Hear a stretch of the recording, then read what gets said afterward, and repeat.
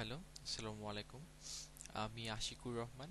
So আমি পিএইচপির programming start করতে চাচ্ছি টিউটোরিয়াল সিরিজ সো পিএইচপি নিয়ে কিছু কথা বলতে চাই। সো এটা হচ্ছে তার ইন্ট্রোডাকশন পার্ট সো আমরা এই কোর্সটার বেসিক্যালি আমার মেন পারপাস থাকবে হচ্ছে যারা পিএইচপি নিয়ে প্রোগ্রামিং করতে চায়। তাদের জন্য বা কোনো একটা project core PHP language use করে, কোনো ফ্রেমওয়ার্ক না। একদম পিওর পিএইচপি ল্যাঙ্গুয়েজ ইউজ করে কীভাবে একটা প্রোগ্রামিং কোনো একটা সফটওয়্যার বা কোনো একটা ওয়েব বেসড অ্যাপ্লিকেশন বানানো যায়, সেটা নিয়ে করা হবে এই সিরিজটা ঠিক আছে? সো আমি যদি পিএইচপি নিয়ে কিছু কথা বলি, তাহলে পিএইচপি যখন প্রথম লঞ্চ করা হয়েছে, তখন সেটার নাম ছিল পার্সোনাল হোম পেজ মানে আমার একটা হোম পেজ আছে, আমার ওয়েব একটা ওয়েবসাইট আছে সো সেই ওয়েবসাইটটাকে ম্যানেজ করার জন্যই প্রথম ওই উদ্দেশ্যেই পিএইচপিকে লঞ্চ করা হয়েছে।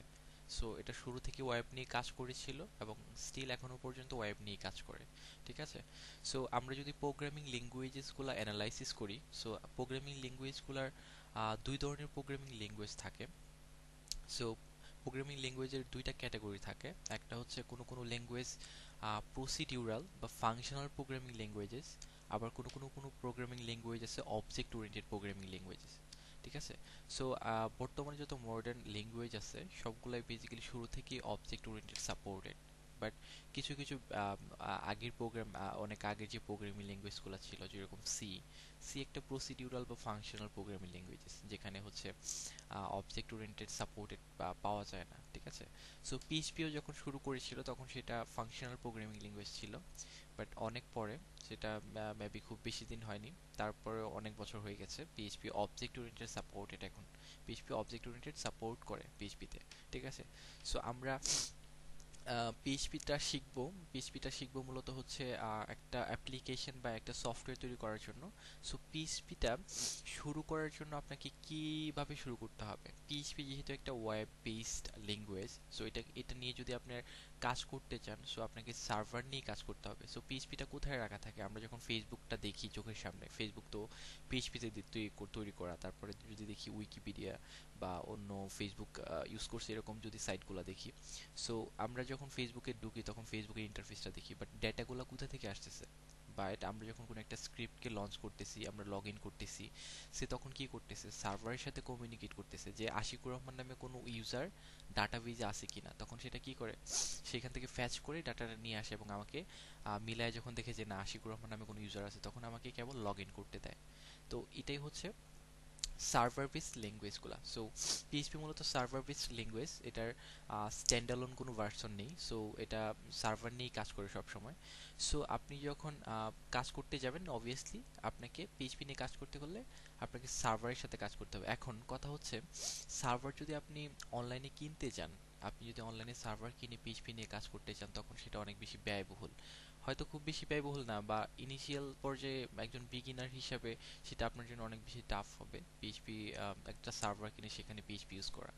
সো সেটা সুবিধার জন্য অনেক ফেক সার্ভার আছে। যে সার্ভারগুলো ইউজ করে আমাদের পিসিকে আমরা একটা ফেক সার্ভারে পরিণত করতে পারি এবং আমরা সেখানে পিএইচপি নিয়ে কাজ করতে পারি, ঠিক আছে? সো আমরা পিএইচপি অন্য যে কোনো ল্যাঙ্গুয়েজ যেমন শুরু করতে গেলেই হচ্ছে আর অন্য কিছু জানা লাগে না। শুরু থেকেই হচ্ছে প্রোগ্রামিং ল্যাঙ্গুয়েজ মাইন্ডসেট বা কনসেপ্ট নিয়ে ঢুকে পড়া যায়। বাট আপনি যখন পিএইচপিটা শুরু করতে যাবেন, তখন তার আগে আপনাকে আর কিছু কিছু জিনিস শিখে আসতে হবে। যেগুলো না শিখলে আপনি পিএইচপিটা সেখানে ইউজ করতে পারবেন না, ঠিক আছে? প্রপারলি ইউজ করতে পারবেন না। সো সেটা হচ্ছে HTML অ্যান্ড সিএসএস সো এখানে আমি এটা বলতেছি না যে আপনাকে সিএসএস এবং এইচটিএমএলটা অনেক ভালো শিখে অনেক বড় মাপের ডিজাইনের হতে হবে, এরকম কিছু না। বাট আপনাকে অ্যাটলিস্ট একটা ওয়েব অ্যাপ্লিকেশন বানাইতে গেলে সেটার যে একটা স্ট্রাকচার আছে সেটার মধ্যে অনেক ট্যাগ আছে বা আমরা অনেকগুলা জিনিস হয়তো সেখানে ইউজ করব, HTML থেকে নিব সিএসএস থেকে সেটা ডিজাইন করব। সো এই ব্যাপারগুলো HTML এবং সিএসএস এর বেসিক পার্টটা আপনাকে অবশ্যই জানতে হবে। তারপর আপনি পিএইচপি ল্যাঙ্গুয়েজ আসতে পারেন, ঠিক আছে? সো আমাদের মেইন ফোকাসটা পিএইচপি প্রোগ্রামিং এ বেসিক্যালি সো আপনাকে HTML এবং সিএসএসটা জেনে তারপরে পিএইচপিতে মাইগ্রেট করতে হবে পিএইচপিতে আসতে হবে। ঠিক আছে? সো HTML সিএসএস সাথে যদি সম্ভব হয় অবভিয়াসলি আপনি jQuery টা একটু দেখবেন jQuery এটা ম্যান্ডেটরি না বাট আপনি এটা দেখতে পারেন। এটা ফ্রন্ট এন্ডটাকে অনেক বেশি পাওয়ারফুল করে, অনেক বেশি আউটস্ট্যান্ডিং করে তার জন্য। বাট এটা খুব বেশি ম্যান্ডেটরি না। এখন HTML আর CSS দিয়ে যখন আপনি একটু একটু ওয়েবসাইট ডিজাইন করতে পারবেন বা মোটামুটি লেভেলের ওয়েবসাইট একটু একটু ডিজাইন করতে পারবেন বা ওয়েবের একটা স্ট্রাকচার দিতে পারবেন, তখন হচ্ছে আপনি যখন প্রোগ্রামিং করবেন রিয়েল লাইফ প্রবলেমগুলো সলভ করতে যাবেন, তখন ডিজাইনের চিন্তাটা আপনার মাথায় কম আসবে। প্রবলেম সলভিংয়ের ব্যাপারটাই আপনার মাঝে বেশি কাজ করবে। সো আপনি যদি এখন ডিজাইনিংয়ে হিউজ পরিমাণ টাইম নষ্ট করেন, তখন আপনার প্রোগ্রামিংয়ের যে কনসেপ্ট বা বা প্রোগ্রামিংয়ের যে টাইমটা সেটা অনেক বেশি ডেস্ট্রয় হবে। সো তার জন্য আমরা কি করব? এবং এইচটিএমএল এবং সিএসএস এবং জেএস সাথে জাভাস্ক্রিপ্টের সহ, একটা ফ্রেমওয়ার্ক আছে, যেটার নাম হচ্ছে বোটস্ট্র্যাপ বোটস্ট্র্যাপ ঠিক আছে?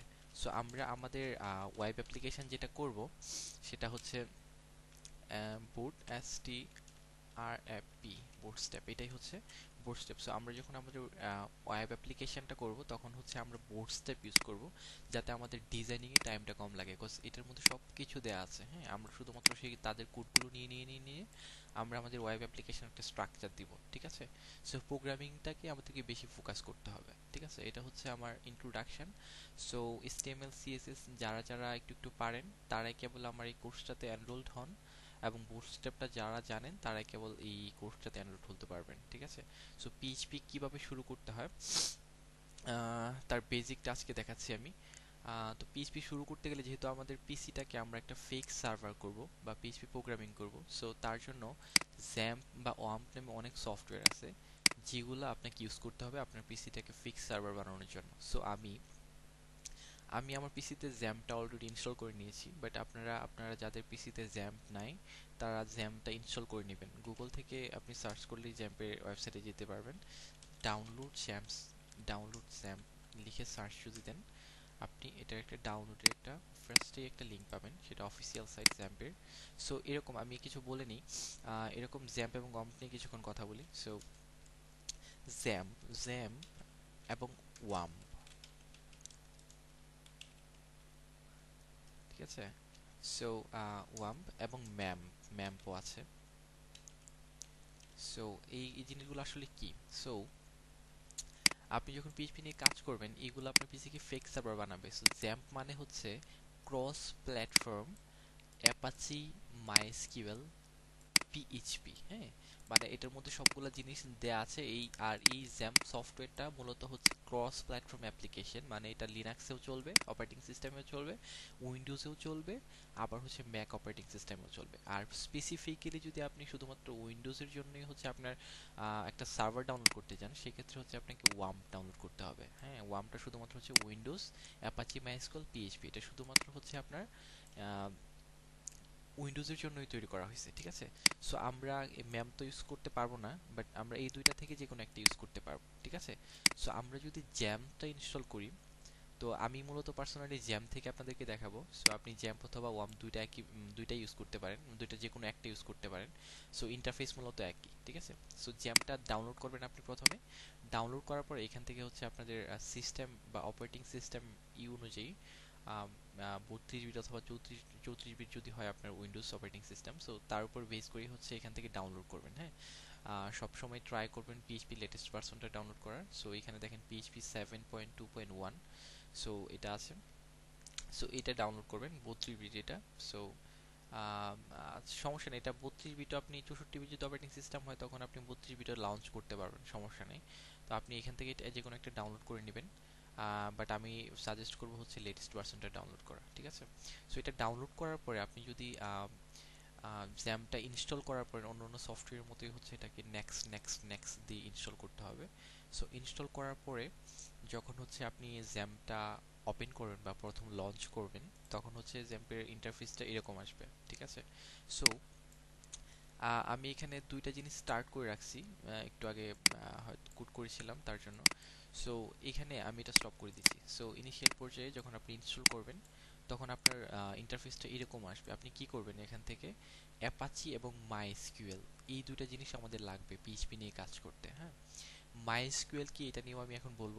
সো তার আগে বলে নিই কীভাবে আসলে স্টার্ট করতে হয়। সো অ্যাপাচি এবং মাই স্কিউএল এই দুইটা এই দুইটা জিনিস আপনাকে এখান থেকে স্টার্ট করে দিতে হবে।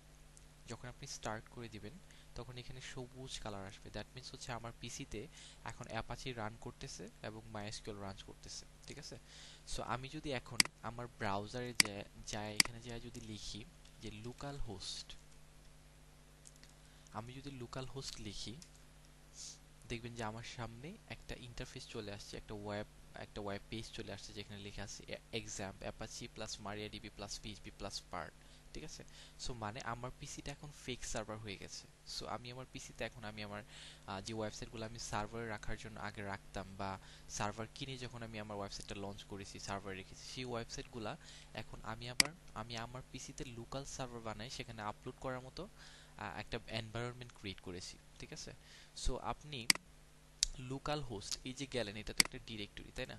সো আপনি জ্যামটা ইনস্টল করার পরে আপনি আপনার ওয়েবসাইটটা কই রাখবেন এবং আপনি কোথায় কাজ করেন পিএইচপি নিয়ে ঠিক আছে? সো সেটা আপনাকে খুঁজে বার করতে হবে। সেটা হচ্ছে, আপনি দিস আপনি আপনার মাই কম্পিউটারে যাবেন। সো সেখান থেকে সি ড্রাইভে যাবেন। যাওয়ার পরে সেখানে এক্সাম নামে যেটা আমরা ইনস্টল দিয়েছি, যদি আপনি ওয়াম্প ইনস্টল দেন সো সেক্ষেত্রে আপনি ওয়াম্প পাবেন। বাট জ্যাম্প ইনস্টল দিলে এখানে জ্যাম্প লেখা থাকবে। তো ওই জ্যাম্প ফোল্ডারটা আমরা ওপেন করব। ওপেন করার পরে এখানে দেখবেন যে অনেকগুলো ফাইল আছে সো এত কিছু খোঁজার দরকার নাই। আপনি এখান থেকে এসটি ডক্স নামে একটা ফোল্ডার পাবেন। জ্যাম্পের মধ্যে জ্যাম্পের ফোল্ডারের ভিতরে গেলে এসটি ডক্স নামে একটা ফোল্ডার পাবেন। এসটি ডক্স মানে হচ্ছে এসটি এম এল ডকুমেন্টস ঠিক আছে? আপনি, আর যদি কেউ ওয়াম্প ইনস্টল করে থাকে, সেক্ষেত্রে এখানে এসটি ডক্সটা থাকবে না। থাকবে ডব্লিউ ডব্লিউ ডব্লিউ নামে একটা ফোল্ডার থাকবে। সেটাই হচ্ছে তার ডিরেক্টরি বা সেটাই হচ্ছে তার হোস্ট ফোল্ডার যেখানে তার ওয়েবসাইটগুলো সে রাখলে সে সেটা ব্রাউজারে দেখতে পারবে, ঠিক আছে? বা ব্রাউজারে সার্ভারের মধ্যে সে লঞ্চ করতে পারবে, ঠিক আছে? সো এসসি ডক্সের ভিতরে আমি যাই।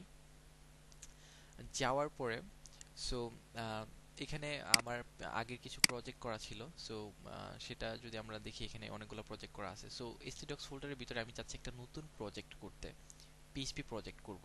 সেক্ষেত্রে আমরা এখানে একটা ফোল্ডার বানাবো। ধরি এটা আমার নিউ প্রজেক্ট ঠিক আছে? নিউ প্রজেক্ট নিউ প্রজেক্টের ভিতরে আমি এখানে যাব। সো এটা আমি যেহেতু এখন পিএইচপি নিয়ে কাজ করব সো এখন আগে যে আমরা ওয়েবসাইট ডিজাইন করতাম. ডট এসটিএমএল লিখে, যেরকম আমি ডট এসটিএমএল তুমি dot HTML index dot HTML so ওই ইন্ডেক্স ডট এসটিএমএল ফাইলগুলাই এখন হয়ে যাবে পিএইচপি ঠিক আছে?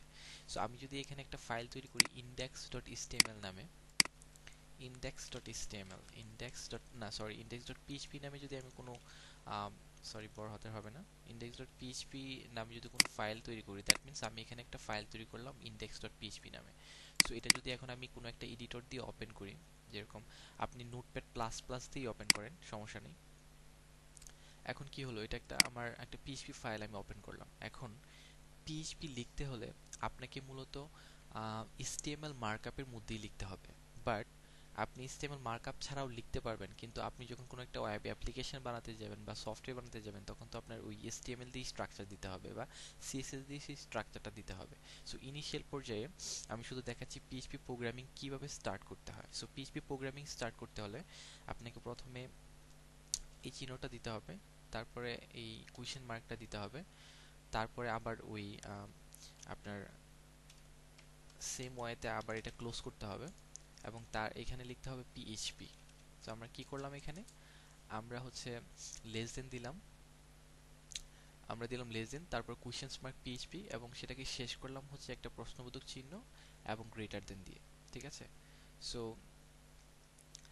সো এটা এটা হচ্ছে আমার একটা পিএইচপি ব্লক ঠিক আছে? এখন এইটার মধ্যেই হচ্ছে আমাদেরকে পিএইচপি প্রোগ্রামিং করতে হবে। বাট এটা আপনি যে কোনো জায়গায় লিখতে পারেন। এখন এইখানে আপনি লিখছেন, ইচ্ছে করলে আপনি এখানে আরেকটা ব্লক তৈরি করতে পারেন। এটা এখান থেকে যদি আমরা কপি করি কপি করে এখানে আমি আরেকটা ব্লক তৈরি করতে পারব। এরকম অসংখ্য ব্লক তৈরি করতে পারব একটা পেজের মধ্যে, ঠিক আছে? সো আপনার যখন যেখানে পিএইচপি ব্লক দরকার লাগবে, সেখানে আপনি পিএইচপি ব্লক নেবেন। এখন, আমাদের প্রথম অ্যাপ্লিকেশনটা আমরা লঞ্চ করতে যাচ্ছি। তো এই যে একটা ব্লাঙ্ক একটা নতুন ইন্ডেক্স ডট পিএইচপি পেজ নিলাম আমি, বা ইন্ডেক্স ডট পিএইচপি একটা ফাইল নিলাম, সেটা যদি আমি আমার ব্রাউজারে দেখতে চাই, সেক্ষেত্রে আমি কি করব?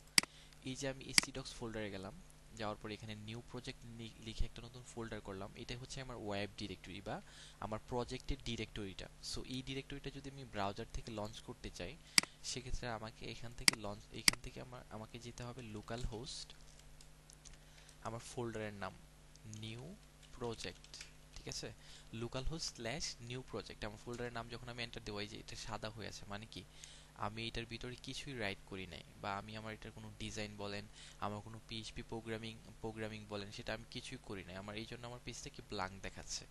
এখন আমি যদি আমার এই ওয়েব পেজে কিছু পিএইচপি প্রোগ্রামিং কোড করে কিছু লেখা ট্রাই করি সো পিএইচপিতে একটা